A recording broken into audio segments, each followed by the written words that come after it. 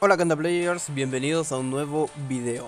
Como vemos estamos acá dentro de la beta porque vengo a traerles una información que me enteré hace nada.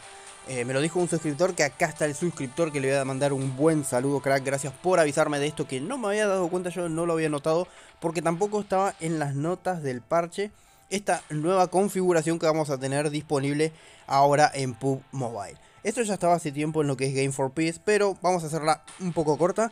Vamos a ir a la parte de inventario. Cuando abrimos vamos a donde dice Setting.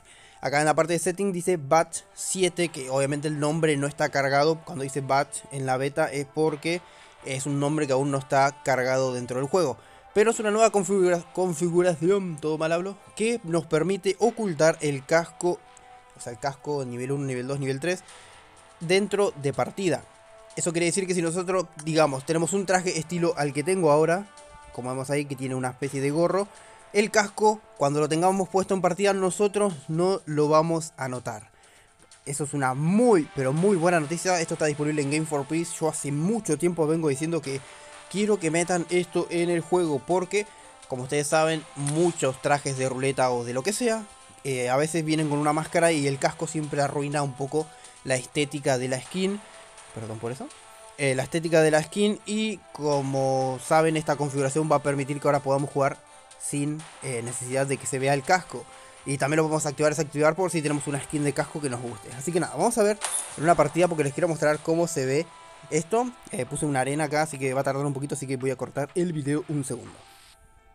Antes de continuar, le voy a mostrar la segunda cosa que mencionaba mi suscriptor ahí en el mensaje que vieron, el mensaje en el comentario que es que podemos poner dos armas equipadas en el lobby, como vemos tengo equipado un arma melee y en la espalda tengo una SKRL y podemos hacerlo viceversa, poner el arma melee en la parte de atrás digamos de, del cuerpo, pero esa configuración no está acá como para ocultar o, de, o no ocultar el arma secundaria porque como vemos dice show firearm in menu, algo así en inglés obvio, es inglés de Oxford puro. Y nada, como vemos ahí, como no está esa opción de desactivar el arma secundaria, puede que sea un bug o no.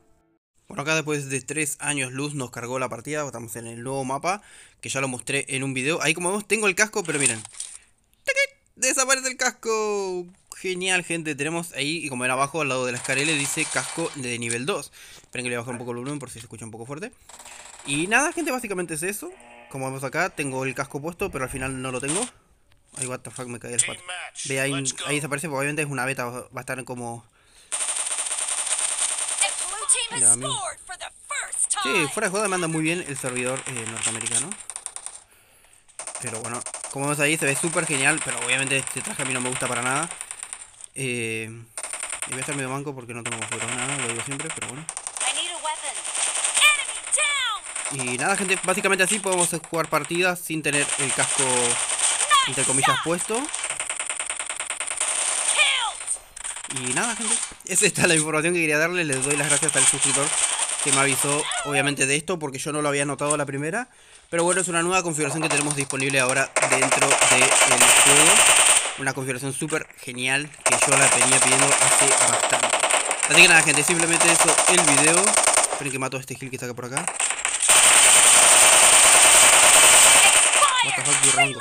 Y nada, gente, simplemente esto. Si les gustó el video, dejen su like, suscríbanse y nos vemos pronto. Antes de que me maten. En un nuevo video. Bye bye.